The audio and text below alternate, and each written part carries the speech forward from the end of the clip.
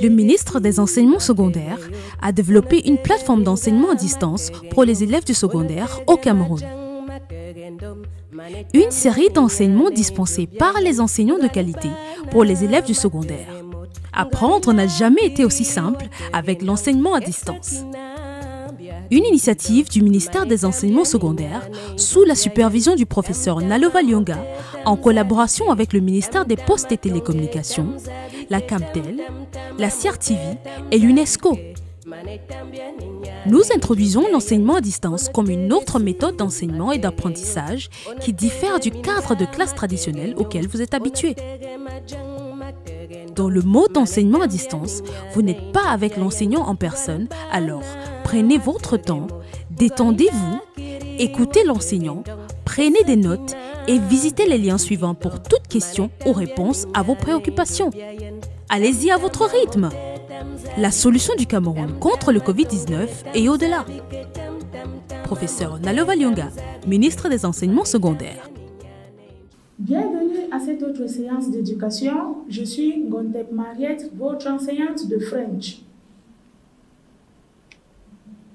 Nous sommes bel et bien dans une classe de Form 1 pour une leçon de French. Alors, passons à la correction de notre devoir laissé la dernière fois. Qu'est-ce que nous avons demandé de faire la dernière fois? On lit le devoir. Tu vas acheter des chaussures pour tes deux frères jumeaux, ta petite sœur et toi. Tu ne connais pas vos pointures. Pour t'aider à retrouver les chaussures qui vous suffisent, donne le nom et l'âge de chaque enfant au vendeur. Voyons voir ce que vous avez fait. Oui. Moi, je m'appelle Taku Annie. J'ai 12 ans. Mes frères jumeaux s'appellent Ndi et Agor. Ils ont 8 ans. On dit, mes frères jumeaux s'appellent très bien comme il s'agit de deux frères jumeaux. C'est bon? C'est bon pour l'accord. Ils s'appellent Ndip et Agor. Ils ont 8 ans. Très bien, puisqu'ils sont jumeaux. On parle des deux frères jumeaux, c'est eux. Et c'est pour ça qu'on dit ils ont 8 ans. Très bien. Les deux sont nés le même jour, n'est-ce pas? Très bien, très bien. Ma petite sœur s'appelle Taku Dora. Elle a 6 ans. Oui. Ça veut dire que le vendeur pourra chercher maintenant les pointures de vos chaussures. Il va chercher la pointure d'une fille de 12 ans, la pointure des enfants de 8 ans et la pointure d'un enfant de 6 ans. Ça va lui faciliter la tâche.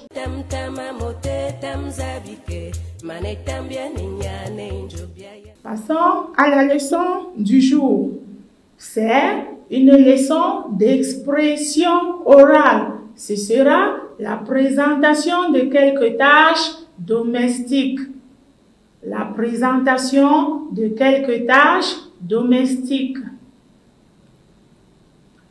Nous avons comme plan du cours objectif d'apprentissage, prérequis, présentation du corpus, activité d'apprentissage, résumé, consolidation, puis évaluation qui sera notre devoir à faire à la maison. Comme objet d'apprentissage, l'apprenant relèvera les tâches domestiques dans un texte donné. C'est-à-dire, à la fin de cette leçon, vous devez être capable de relever les tâches domestiques dans un texte donné. Vous devez être également capable de citer au moins trois activités domestiques que vous menez à la maison, c'est-à-dire trois activités domestiques que vous faites à la maison. Maintenant, pour faciliter euh, euh, l'acquisition, c'est-à-dire pour faciliter euh, la, les notions que nous avons à vous donner cette fois-ci, il faudrait que vous ayez comme euh, prérequis, c'est-à-dire un ensemble d'éléments qui vont nous permettre à comprendre ou alors aboutir où nous allons. Il va falloir pouvoir identifier les rôles de, des membres de la famille nucléaire. Nous avons lu la fois dernière un petit extrait qui parlait des rôles des membres de la famille nucléaire. Et nous avons également fait le lexique lié au rôle des membres de la famille nucléaire. Nous commençons avec les activités d'apprentissage. Alors, nous allons débuter par l'interprétation d'images. Nous allons observer attentivement chaque image et nous prendrons la peine de former une bonne phrase pour dire ce que fait chacune des personnes représentées sur l'image. Allons-y, observons les images. Qu'est-ce qu'elle fait? Observez attentivement et regardez, dites-moi ce que la fille fait. Bon, nous allons dérouler toutes les images, vous les observerez, après vous allez apporter les éléments de réponse. On continue. Deuxième image. Observez aussi. Observez attentivement la deuxième image. Qu'est-ce qu'elle fait aussi, celle-là? Qu'est-ce qu'elle fait? On continue. Image 3. Regardez bien. Qu'est-ce qu'elle fait également? Qu'est-ce qu'elle fait?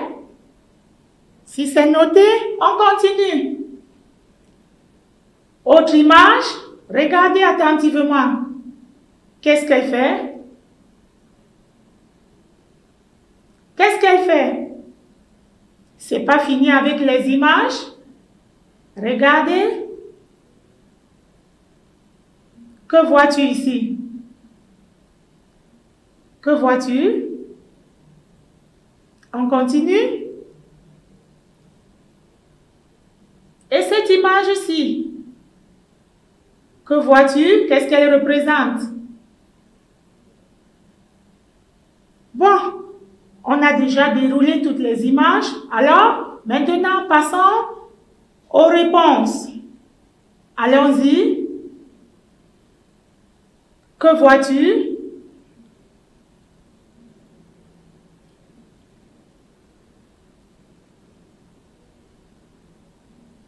Que vois-tu?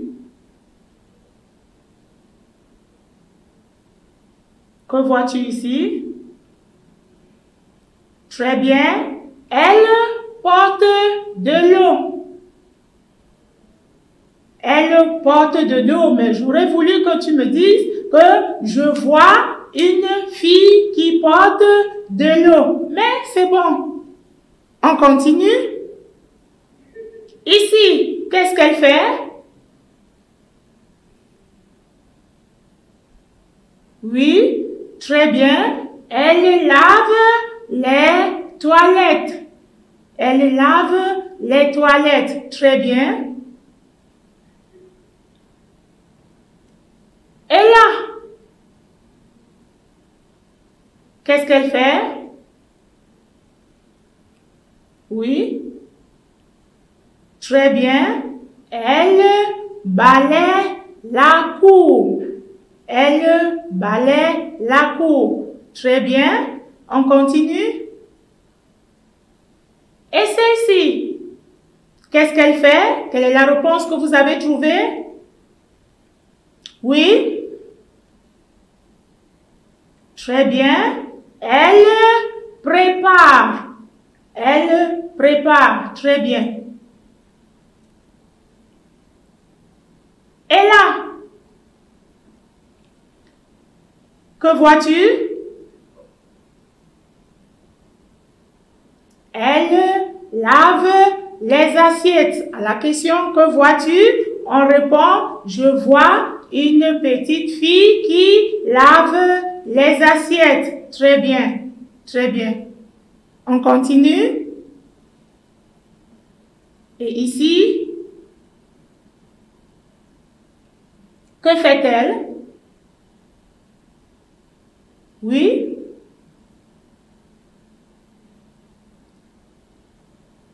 Très bien. Elle s'occupe de son enfant. Très bien. Elle s'occupe de son enfant. Alors, nous avons déroulé une suite d'images, nous avons observé, nous avons euh, donné des éléments de réponse par rapport à ce que nous avons observé. Maintenant, je vais, j'aurais voulu que vous me disiez ceci sur la première image ou alors sur l'image numéro 1, je vois une fille qui porte de l'eau. N'est-ce pas? Oui. Et aussi, sur l'image numéro 2, je vois une femme qui lave les toilettes. C'est-à-dire, vous apprenez à former des phrases tout en incluant l'élément de la question qui permet que même si quelqu'un n'était pas là quand on vous posait la question, on peut savoir ce qu'était la question auparavant. Qu'est-ce que tu vois sur l'image numéro 1 Je vois une fille qui porte de l'eau. Qu'est-ce que tu vois sur l'image numéro 2 Sur l'image numéro 2, je vois une femme qui lave les toilettes. Et si on disait, qu'est-ce que tu vois sur l'image numéro 3 Toi, tu réponds, sur l'image numéro 3, je vois une fille qui balaye la cour.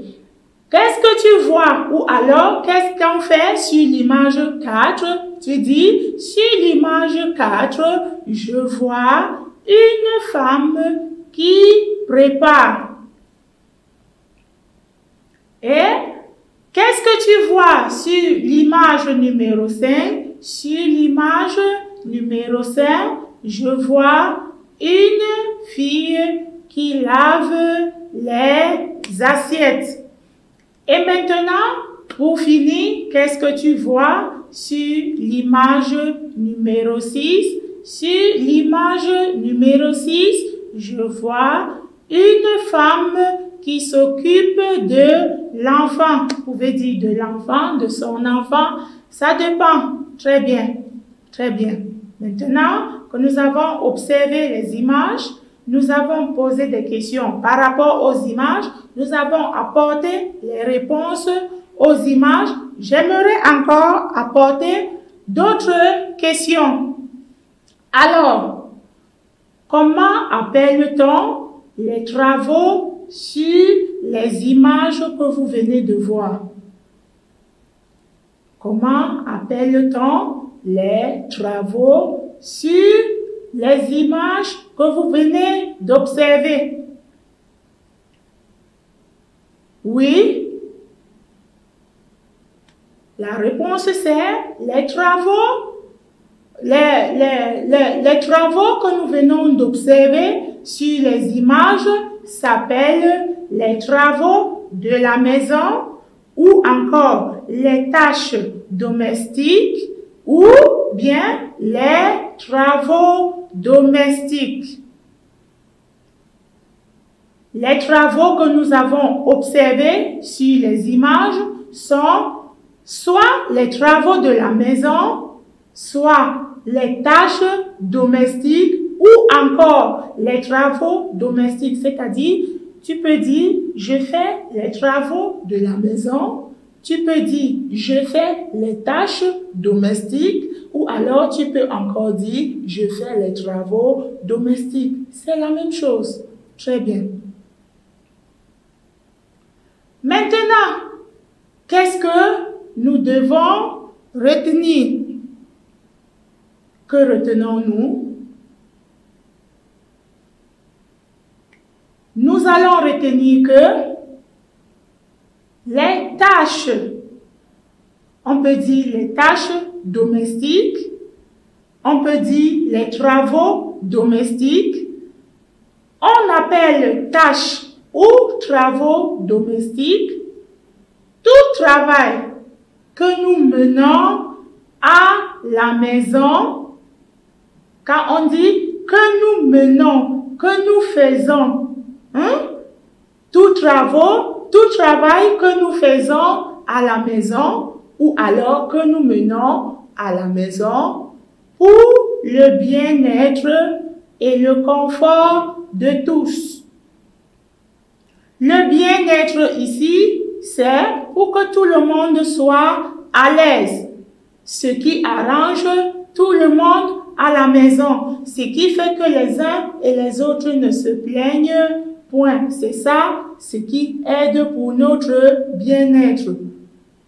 Pour qu'on soit dans un environnement propre, pour qu'on ne ne manque pas de nourriture, par exemple, pour qu'on ne manque pas d'eau pour se laver, pour qu'on ne dorme pas dans une maison sale, nous devons faire les travaux de la maison. Alors, ces travaux sont, on peut avoir puisé de l'eau, comme tout à l'heure, la première image nous montrait une fille qui portait une marmite d'eau. Avant de porter cette marmite d'eau sur sa tête, elle est d'abord partie puiser l'eau, mettre dans sa marmite, porter sur sa tête pour ramener à la maison pour qu'on l'utilise pour faire des choses de la maison. Donc, c'est pour ça que nous disons, nous avons puisé de l'eau, nous avons balayé le sol, on peut balayer la maison, on peut balayer le dehors ou la cour, on peut balayer sa chambre. Nous avons également lavé les assiettes ou fait la vaisselle. Nous avons lavé les assiettes ou fait la vaisselle. Nous avons vu une petite fille tout à l'heure qui lavait les assiettes. Et quand on lave les assiettes, ça veut dire qu'on fait la vaisselle. Donc, on peut dire je lave la vaisselle, euh, les assiettes ou alors je fais la vaisselle. Nous avons autre travail domestique, laver les habits ou faire la lessive. Quand je lave les habits, ça veut dire également que je fais la lessive. On peut utiliser l'une ou l'autre expression. Je peux décider de dire tout simplement je lave les habits ou alors je fais la lessive. N'est-ce pas? Il y a autre travail domestique, c'est préparer ou faire la cuisine. On peut décider de dire je prépare ou tout simplement je fais la cuisine. On a un autre travail domestique, s'occuper du bébé ou tout, tout simplement des enfants. On a vu tout à l'heure une maman qui s'occupait d'un enfant. Ça pouvait être son enfant. N'est-ce pas? Bien. Maintenant, nous allons passer à notre devoir de classe. On l'a nommé ici consolidation pour voir si les uns et les autres ont compris tout ce qu'on a raconté depuis. Alors, prends ton cahier et forme-moi cinq phrases pour dire ce que tu fais à la maison comme tâche domestique quand tu ne vas pas à l'école. Forme 5. 5 phrases pour dire ce que tu fais à la maison comme tâche domestique quand tu ne vas pas à l'école. Je vais vous donner quelques secondes pour que vous y réfléchissiez.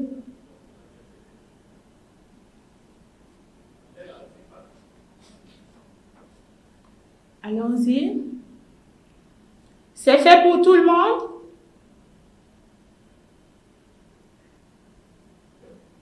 Si c'est fait, on va passer à la correction.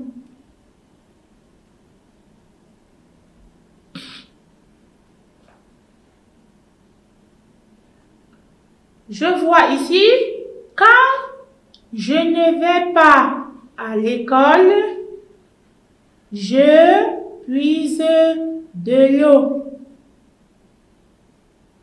C'est bon? Et toi?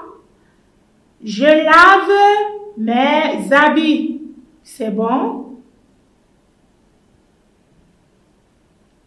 Je lave mes habits, toutes mes chaussures et je balaye la cour. Oui, ça va. Très bien. Je nettoie les fenêtres. C'est bon? Je poussette les meubles et poussetter les meubles. Et poussetter les meubles, ça veut dire chasser ou enlever la poussière sur les meubles. Les meubles, c'est quoi? On peut avoir les chaises, ce sont les meubles, les fauteuils, on peut avoir l'armoire.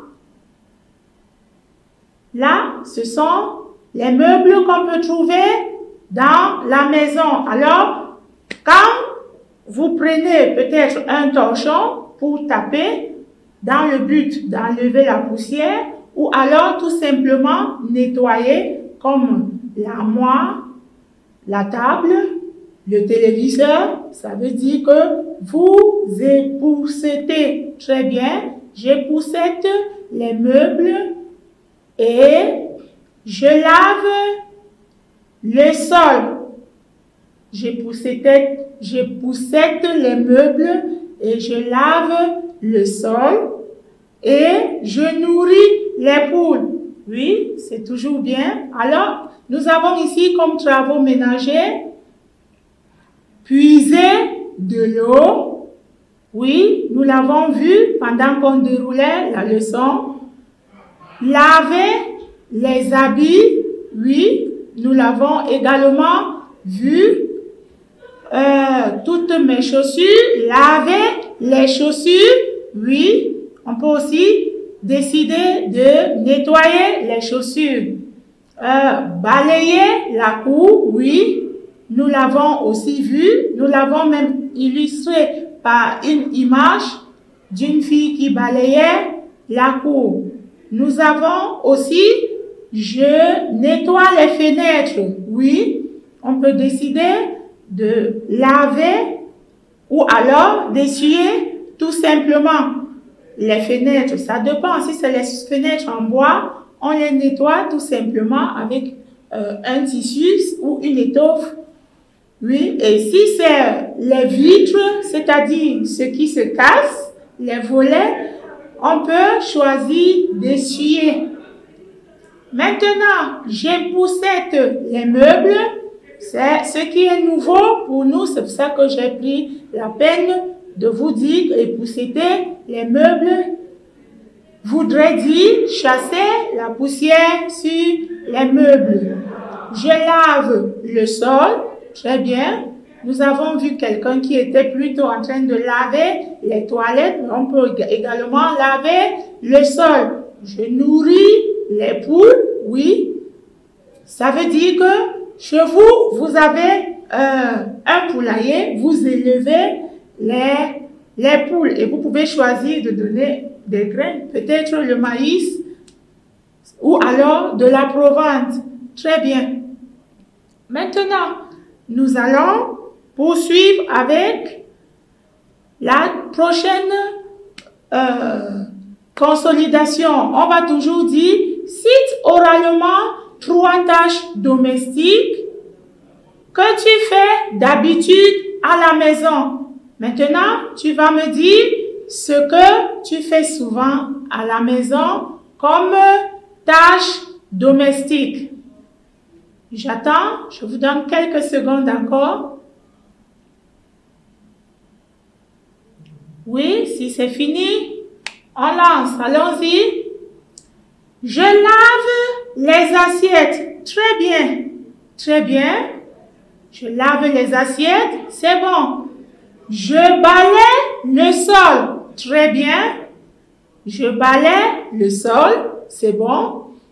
De l'autre côté, quand on regardait les images, on a vu comment on balayait la cour. Ici, tu balayes le sol, c'est bon. Je lave les habits, très bien. Quelle est l'autre expression qu'on a dit qu'on pouvait utiliser pour dire que je lave les habits? On a dit qu'on pouvait dire je fais la lessive, n'est-ce pas? Très bien. Je nettoie les toilettes, c'est bon. J'aide ma mère à préparer, c'est très bien. J'arrange mon lit. On peut dire j'arrange mon lit ou je dresse mon lit, c'est bon. Je remplis les bouteilles et je les mets au réfrigérateur. Ah, c'est bien. Je remplis les bouteilles, oui, et je les mets au réfrigérateur. Le réfrigérateur ici, où on range les bouteilles, où on met l'eau pour qu'il, pour qu'elle soit un peu fraîche, pour qu'elle soit agréable pour boire, à la, à la boisson. Bon, on peut l'appeler le frigo. On peut dire tout simplement le frigo, c'est comme ça qu'on appelle tout communément à la maison. On dit ouvre le frigo, mets ma bouteille d'eau pour qu'elle rafraîchisse. Très bien, c'est bien. Maintenant, nous avons fini et je pense que les uns et les autres ont bien compris la leçon, la notion, parce que je vois tout le monde a donné les tâches domestiques. C'est bon.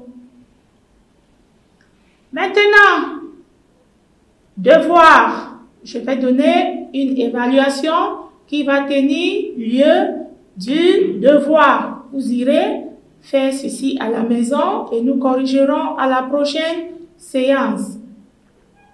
Relève trois tâches domestiques dans le texte suivant. Relève trois tâches domestiques dans le texte suivant. Voici le texte. Le soir, quand je rentre de l'école, je mange et je me repose pendant 30 minutes.